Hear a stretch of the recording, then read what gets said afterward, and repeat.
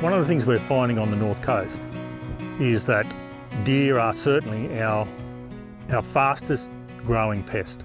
They tend to be popping up in lots of different places.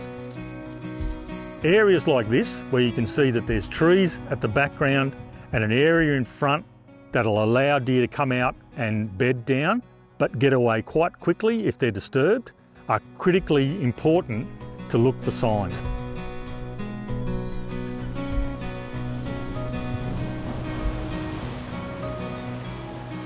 This headland here and, and around to Karora is a, a unique bit of littoral rainforest because it's within four kilometres of the CBD and it's never been fully cleared.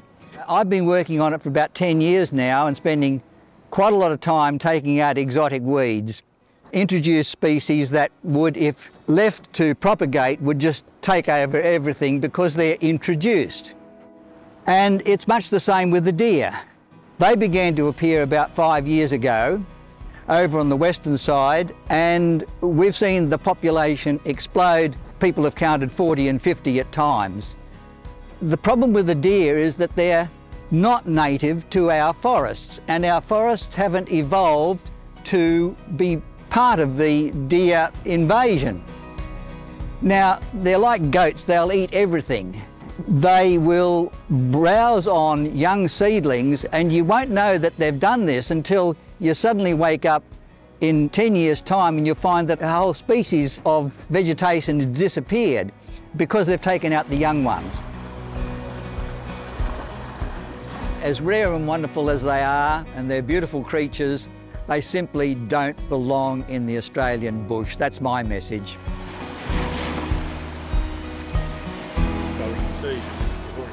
We've been here for approximately 20 years and we saw lots of wallabies, lots and lots of wallabies. But we haven't seen any wallabies for at least five years. So I think that the deer have driven the wallabies out. As you can hear with all the traffic noise, we're quite close to the highway. You can't see the highway from down here. But if you walk down, you know, it wouldn't take you very long to get onto the highway. So the deer just run around in this area. I went door to door asking the neighbours, you know, if they have any problem with the deer. And a number of them said, oh yes, they, there was heaps. And I said, so when you say heaps, how many are heaps? And they said, oh, well, at least 30.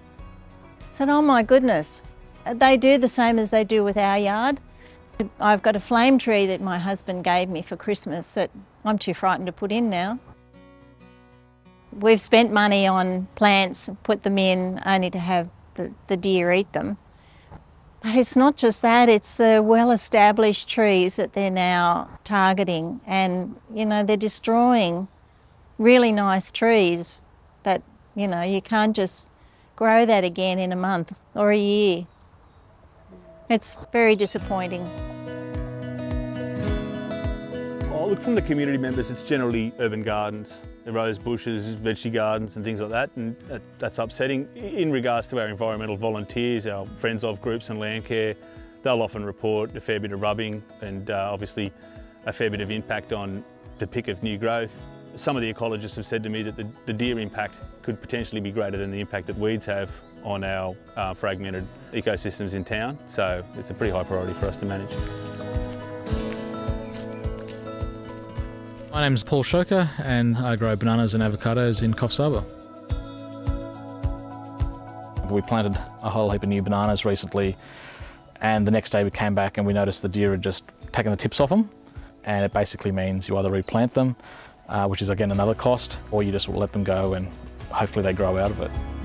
You can see some prints here. It's, like sometimes you'd be slashing here and all of a sudden they just stand there and staring at you. Everyone on the north coast enjoys the environment, the natural habitat, um, the landscape.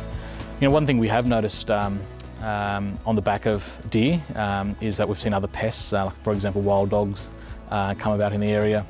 Um, and, and, also what we have noticed is um, uh, the deer are a significant threat on um, native bushland as well. So we've seen a number of young saplings killed. Um, we've seen a number of uh, trees that have been uh, damaged from the deer as well. So not only are they targeting commercial crops, they're also targeting the native uh, vegetation as well. So, and on top of that, you know, they are also competing. You know, we see them in people's uh, paddocks and competing with you know livestock for feed as well.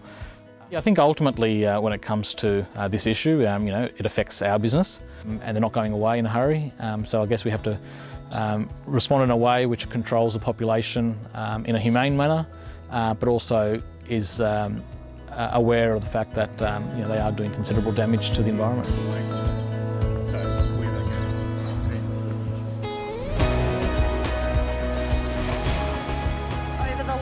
Few years, we have seen bushfires, droughts, pandemic, flooding recently, um, and continuous wet weather around. Uh, we know it's important for communities to come together when there are disasters happening around them. Um, and just like natural disasters, pest animals needs to be part of that conversation, part of that community uh, reach out um, as well because by neighbours talking to each other and people talking down the street or at the shops about their sightings, about their experiences, it gets more people involved as well as showing people how to use the Feral Scan app then and there.